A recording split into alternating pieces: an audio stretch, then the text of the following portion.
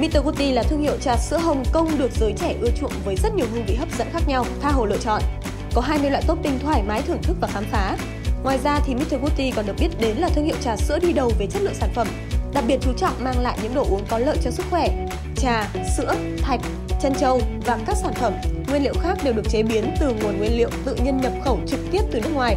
Ngoài ra thì những loại trà sữa còn có những ly trà được làm từ hoa quả như trà sữa hạt rẻ, trà sữa đào, trà sữa chanh leo, bổ sung đầy đủ các vitamin và chất dinh dưỡng để tạo ra sự phong phú cho hương vị.